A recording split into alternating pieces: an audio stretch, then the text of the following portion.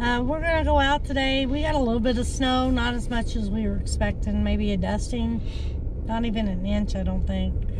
But we're gonna go take a drive and take some pictures and over across the river at the and get some pictures of the snow on the trees and stuff for you guys. We're by the lake, so.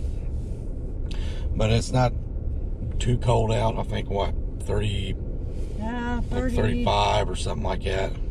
But we're gonna, like Angie said, we're gonna get out and just take a few photos over at the lake and uh, everything. To say hi, Shug? Hi.